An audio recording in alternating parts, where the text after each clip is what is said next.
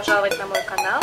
А, сегодня хочу предложить вам к просмотру видео из ряда «Собирайся со мной». И если вам интересно, такая версия макияжа,